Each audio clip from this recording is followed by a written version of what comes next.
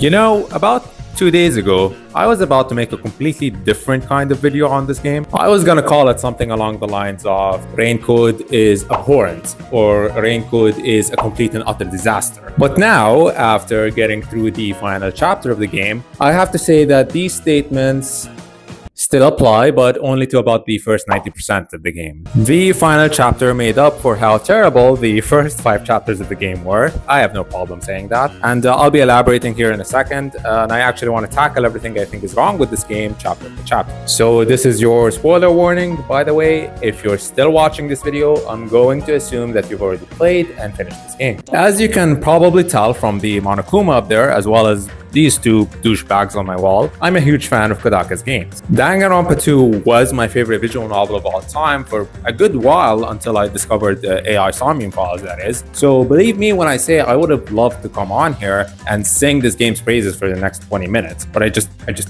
can't do that, not when the writing is this crappy. And listen, if you enjoyed Raincode, well, well, first off, good for you. I'm glad someone got some value for their money at least. Second, I'm extremely jealous you're able to enjoy this piece of shit game. And third, this doesn't mean this video isn't for you. I would instead like it if fans of this game stuck around to hear out all the criticisms I have towards the game. Uh, I like having people with differing opinions to my own in my own comment sections. It's where all the best video game discussions take place. You know, kind of like this guy. Don't listen to the positive comments, bro. Be like this guy. Fire emoji, fire emoji, fire emoji. And for these same people, I'll promise I'll go a bit easier on this game from now on because I imagine it's not that fun listening to someone badmouth something you really like. Hell, I'll even start with a couple of positive things I have to say about it. For one, this game is clearly far more ambitious than any other game Kodaka has worked on thus far. The man spent what, six years working on this game? And it shows. We get a whole ass city to explore this time, and NPCs have actual models and aren't just blue and pink silhouettes or cardboard cutouts for that matter. And the visuals are beautiful. Uh, the budget is clearly there this time. The game's premise is also immediately very captivating. A group of detectives, each having access to their own forte, their own supernatural power to help with investigations, on a mission to investigate an uncharted city that's been cut off from the rest of the world and where crime is a daily occurrence. The game's premise alone gives the game so much potential and differentiates it from the Danganronpa series. They could do so many crazy and wacky murder cases here cases that can only be solved in a world where superpowers exist. But as soon as the first case, that possibility is immediately shattered. And I'm not even talking about the fact that all five of the detectives you meet at the very start all bite the dust in the very first chapter which I hate, by the way. I've noticed with this twist, as well as the first case in Danganronpa V3, that Kodaka seems to prefer pure shock value over entertainment. With this twist, we just wasted five potentially great characters, one of which has one of the best character designs I've ever seen out of her way. She's even voiced by Lauren Landa. Come on, couldn't she have survived at least? But let's start my rant here at Chapter 0 Massacre on the Amaterasu Express. Again, I'm going to assume that you've already played this game and already know the details of each case, so I won't bother explaining each murder scheme in detail. Honestly, the case itself is fantastic. It's a brilliant scheme that Zilch cooked up or at least the guy who's pretending to be Zilch. It's a mystery that I solved fairly quickly after just one look at the train tracks, but just because it's easily solved doesn't mean it isn't a clever plan. And plus, for a first case, it's fairly complicated, especially since 11037 was a thing that happened. But unfortunately, everything starts going to shit as soon as the game introduces its unique gameplay mechanic, which is a counterpart to Class Trials, the Mystery Labyrinths. My god, are these things infuriating. Now, considering how simple first cases usually are in Danganronpa games, it's usually compensated by having a trial that's on the shorter end of the spectrum. Not in this game, no. This part goes on for like two goddamn hours. Why? Because our two main characters are dumber than bricks, that's why. Um, Master, I don't really get it. What do you mean the first car was cut off? What do you mean, what do I mean the first car was cut off? Bitch, look at this map. Look at this. I saw you puke this out earlier. You look at this and you tell me what the fuck I mean. Can you imagine how obnoxious this is? So, having solved the mystery like ages ago and then watching these two scurry around for two hours trying to figure things out. That's another thing. Two characters for two hours? Imagine having two characters debating in a class trial for, for two hours. And by the way, out of all the possible combinations of characters we could have had as a partner in this game, why did the developers settle on the Hiyoko plus Junko hybrid? That's quite literally the worst thing they could have come up with. There is a correct way to make an obnoxious character who's also likable, by the way, and that's to make them funny at least. I mean, just look at Miyu. But no, Shinigami is boring and obnoxious. And she's quite possibly the game's biggest fault. If she were to disappear, I would like this game so much more. I would not have minded her as much if Yuma, our protagonist, was the type to stand up to her shenanigans. But no, this boy's even surpassed Makoto Naegi on the beta male scale. Yes, the beta male scale. I, I, just came up with that. Now, honestly, while I did figure out the entire murder plan, I wasn't quite sure who the culprit was. Really, there were only two possible options, Zilch or Aphex. But since there was no evidence for Zilch faking his own death yet, my primary suspect was Aphex. As in, the scenario plays out exactly the same way, but instead of Zilch placing his glasses on Aphex's corpse, Aphex places his necklace on Zilch's corpse instead to confuse us. And really, as far as we know, there was no way for Yuma to figure out which had actually occurred. Uh, not until we find the pillow that Zilch used to stab a knife into just to fake his own death. But here's what doesn't make sense. The game wanted us to accuse Zilch before that evidence came to light. The only reason Yuma went back to the crime scene to find the pillow as evidence was after concluding that Zilch did it. So this is a pretty major oversight on the developer's part. Also, please let me know if I'm wrong here in regards to Aphex also potentially being the culprit. Uh, I could very well be missing something something obvious uh, but I don't think I am. Regardless, the first mystery labyrinth of the game was mind numbing to get through. And it doesn't help that the banter between Yuma and Shinigami sucks complete ass. I actually started skipping voice dialogue. I, I never do that. But Shinigami never has anything of value to say, so why bother listening? I'm used to having to read some dumbass dialogue in between the serious shit in Danganronpa, but this is a whole nother level of dog shit. So yeah, this first case was not a great first first impression for the rest of the game. Uh, the only positive really is that I think the case summary music was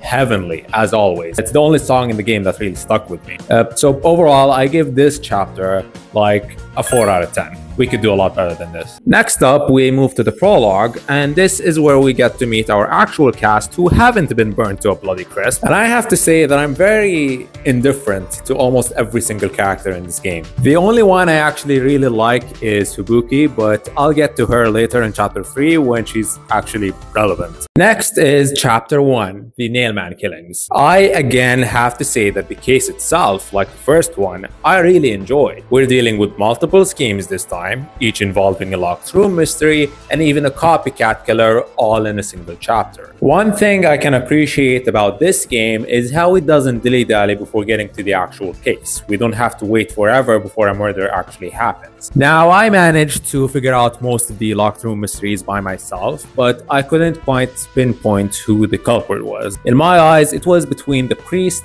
and the nun, who don't have actual names, by the way. That's another thing. Out that one of these people committed murder is not as impactful as it should be, because we literally just met them. We haven't spent hours with them like, say, our classmates in Danganronpa. And they're not even important enough to have names. And in later cases, all possible suspects don't have last names. But now we make our way to our second mystery labyrinth, and what do you know? We actually have a guest character joining us this time. I mean, three characters debating in a class trial isn't much, but it's better than two at least, so I'll take it. Oh, what's that? Guest characters always conveniently lose all their memories of the case, so now we get three dumb characters instead of two. Well, fuck me. You try to give this game a chance and then it just shoots itself in the foot. Let's fast forward a bit. So Yuma decides that the culprit has to be the priest because the nun had a broken hand and thus could not have created one of the locked room mysteries. But again, Here's what doesn't make sense. We have no proof that the nun did not injure her hand after committing the crime. Hell, we're not even sure she's not just pretending to be injured. As detectives, weren't we supposed to question everything? Something this game hammers to us over and over again? And uh,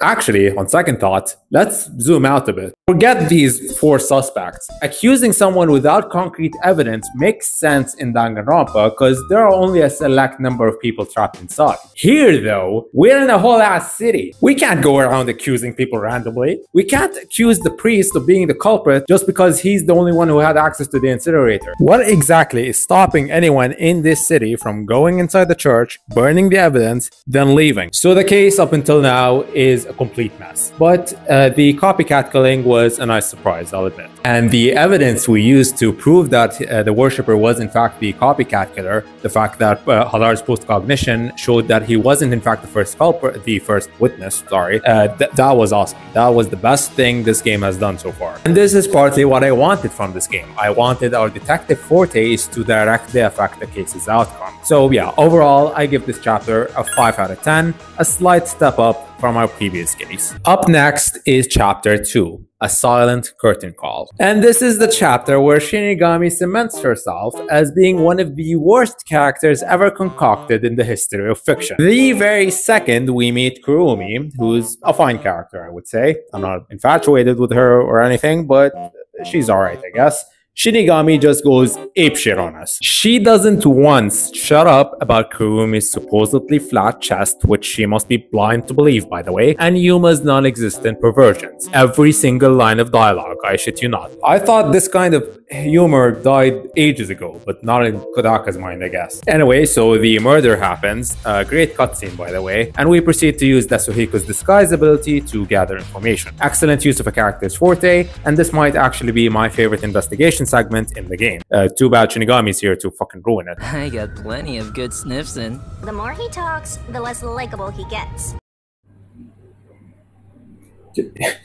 You're the last person to say that, Shinigami. Making her self-aware was the least that you could do to make her somewhat tolerable. Now, I wasn't quite sure how this case played out exactly. All three suspects were incredibly suspicious, but at the time, I thought it couldn't be all three of them, right? That's less interesting than having one super genius mastermind that pulled the wool over all of our eyes, right? So my main suspect was Kurine, because she could have used the eyedropper in her locker, which Yuma decided to ignore, by the way, adding to my frustration, uh, to drop the poison into Karen's glass. Now, this wasn't right, but I stuck with that theory for a while before realizing that they all did indeed have a hand in it. And it was actually Yoshiko who uh, swapped out Karen's glass with a poisoned one. Now, I want to use this plot point to show you just how bullshit these mystery labyrinths could get. This question asks, when was the glass set on stage? And keep in mind that players at this point would already know that there were two wine glasses swapped out with each other. So which of these two glasses is, is, this question asking about exactly? The normal one or the poisoned one? I assumed the poisoned one, well, because why would we bother talking about the other unpoisoned glass this far into the case? But no, they were actually asking about the original glass that was swapped out. Okay, fine. My bad, I guess. But immediately after, this is what they ask.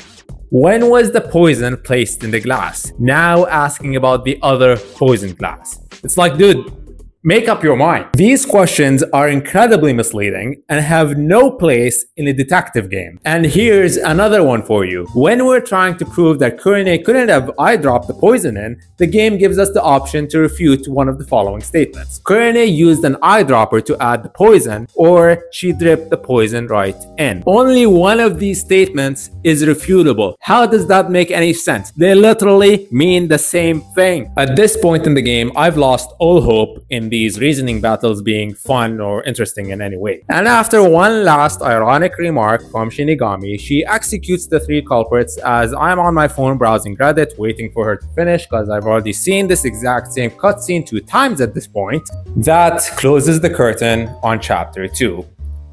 5 out of 10. This one just made me very exhausted. Next up is chapter 3 no longer a detective. Well, good news is uh, my expectations for this game were pretty low at this point, so there wasn't much the game could do to disappoint me any further. Except for literally the worst QTE sections I have ever experienced in my life. What the fuck is this? Why are these so awkward? They make AI Somnium Files dumb QTE sections look like full-blown cinematic masterpieces. Out of everything you could have taken inspiration from from AI the Somnium Files, QTE sections were not the answer. Despite that, Fubuki's presence in this chapter does soften the blow a bit. In a game filled with some of the most detestable characters known to man, Fubuki, she's my lord and savior. Most of my favorite lines of dialogue in this game come from Fubuki's airheadedness, most notably this one. I am so naive that the servants call me dummy thick behind my back. Uh, not too soon after, uh, during one of the Dumb QTE sections, I actually busted out laughing for the first time playing this game uh, at this scene. Let me go! Oh, hey, wait! Help me!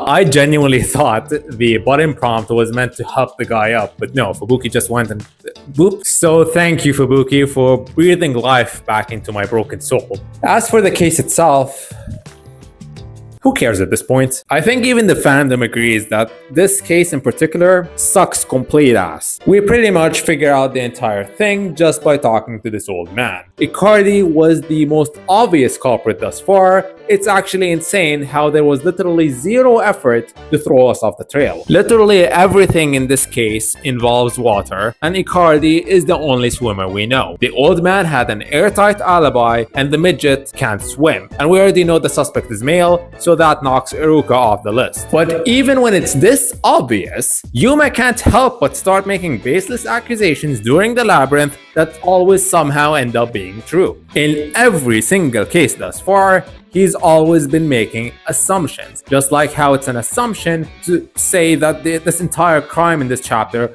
was a bank robbery. We have zero evidence to support this theory. I would have given this case like a 3 or a 4 out of 10, but just out of respect for Fubuki, I'm gonna bump it up to a 5 out of 10. Now on to chapter 4, The Imperfect Insider. This case starts out fantastic, most notably because all the master detectives are here and all of them, including their fortes, has something to contribute in some way to the case at large. And this is the first case where I actually had zero clue on how the culprit did this crime, meaning this was the first time I was actually fully invested and intrigued by a case in this game. But there has to be a catch, right? We can't have a chapter that's entertaining the entire way through. What are you, stupid? No, let's throw in the worst mystery labyrinth thus far in this chapter, just to even things out. We got misleading questions, but even worse, Yuma just ignores massive plot holes in his arguments. And we're the ones playing as Yuma, so the game expects us to ignore those holes too. After we conclude that the culprit hopped on Amapal, the toy robot thing we used to get past the lab security system, the characters just ignore the fact that the culprit wouldn't be able to avoid the poison gas. And they don't acknowledge that fact for like 20 minutes until Vivia decides to talk about it. The way the script is written is torturous. In these 20 minutes, I'm just thinking, please, somebody bring up the issue of the poison gas. What, what's wrong with you people? Oh, and another thing that's messed up. Once I got Amapal to open the lab's door, I was mashing the button to retract the arm and hurry up inside. But no, the game forces us to sit there and wait until the door is fully open before we get to move again. This was incredibly suspicious and I was right because the culprits used that opening to hop inside and commit the crime. But how would the culprit know that Yuma would just sit there like a dumbass instead of hurrying inside? This is a major oversight. Something that has to be known is that a detective game needs to respect the player's intelligence, and it needs to be able to predict what the player is thinking as we're going through the case. Otherwise, it devolves into one of the most frustrating gaming experiences you can have. At this point in the game, I realized that the only way to actually enjoy these mystery labyrinths is to actively not pay attention to the facts of the case, just so it doesn't drive you crazy when Yuma misses the obvious stuff and to have actual surprises here and there. So anyway, uh, Chief Yako was the culprit and uh, he dies. Uh, I think I was supposed to feel some kind of sorrow here, but uh, truth be told, I don't know the guy. We've barely spent any time with him. Oh, and this whole thing of being surrounded by peacekeepers only for someone to jump in and save us at the last second has happened like four times by now. So now it's just lazy and we know it's gonna happen so any suspense goes out the window. Now the first half of this case might have been like a 7 or an 8 out of 10 but overall just because of how frustrating the writing was I'd also give this chapter a 5 out of 10. But now, finally, onto this game's one saving grace, chapter 5, and then I was gone. In this chapter, everything gets turned on its head, and you get plot twist after plot twist. And not the cheap kind of plot twist where they only exist for pure shock value. No, th- these are well thought out twists that were planted all the way from the very beginning of the game. Right off the bat, boom, zombies. This is what's been happening to all the corpses thus far. I knew there had to be something regarding how Kanai Ward uh, disposes of corpses, but I just thought they used uh, Dr. Weska's chemicals to dissolve the bodies. I never expected this. I also never thought zombies would be what I'd remember Rain Code for, but uh, here we are, I guess. What's funnier is that the answer's been staring me in the face for the past year, and I never thought anything of it. Not to mention the various nods to Japanese mythology, like the names Yomi, Amaterasu, and Kagutsuchi, all hinting at the fate of the goddess Izanami in Japanese folklore. Which, I mean, being a fan of the Shin Megami Tensei series helps me appreciate stuff like this a lot more. And after that twist, the second I entered the factory and realized that they were making meat buns, my heart just dropped and I immediately understood what it was alluding to. That was the plot twist that shook me the hardest. Another thing was the pink blood plot twist, which uh, I mean, I did remember that Yuma's blood was red at the beginning of the game, uh, but at first I took that to mean that Yuma was the homunculi who escaped not the entire goddamn city of Kanai Ward. That was insane. So yeah, hats off to the writing in this chapter. This was amazing, and I didn't expect this since Danganronpa's final chapters are always known to be the worst things known to man. Even Shinigami dials down her antics a bit during this chapter, and she even becomes a bit self-aware towards the end which uh, I, mean, it, I wish it happened like 20 hours ago. So yeah, this chapter was fantastic. I'd give it an 8.5 out of 10 an incredible ending to an otherwise shitty game. In my eyes, this averages the game to be around a 6 out of 10. While this final chapter made me not regret playing this game, I still do regret paying full price for it. This game is not worth $55. Come on now. Maybe $20, maybe. But while this game puts the quality of Kodaka's future games into question, I will try to remain hopeful. 100 line defense academy thing, whatever you call, it, it's all on you. Don't let me down. Anyways, that's all I have for now. Uh, kind of a negative video today, I know, but I'm just being honest here. And hey, on the bright side, playing a mediocre game like this right before playing Metaphor, it's gonna help me appreciate that game so much more. Always look on the bright side. So thank you guys for watching. Please consider subscribing and liking the video if you enjoyed. It really helps me out a lot. And as always, I'll see you in the next one. Peace.